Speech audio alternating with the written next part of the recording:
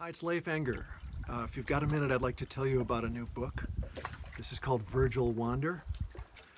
Virgil Wander is about a man who lives above his fading movie theater in a hard luck town uh, near here on the shore of Lake Superior. It's the darkest, coldest, freshest water in all of North America. Anything can happen on Lake Superior.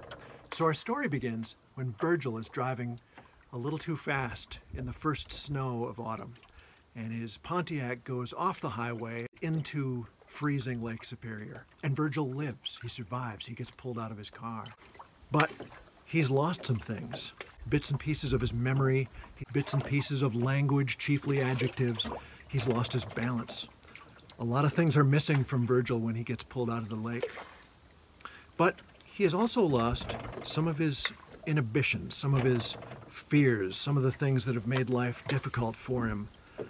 And so he begins to realize as the story unfolds that maybe he's gotten what most of us want, which is a break, a shot, a second chance, a second chance at some of the things that eluded him his first time around, that slipped through his fingers, a second chance at love and work and friendship and passion and kite flying. I think this is a story about what happens when you get the break you didn't even know you needed, when you get the break you don't deserve and what you do with that. The book is Virgil Wander. It's published by Grove Atlantic. I hope you'll check it out. Thanks for watching.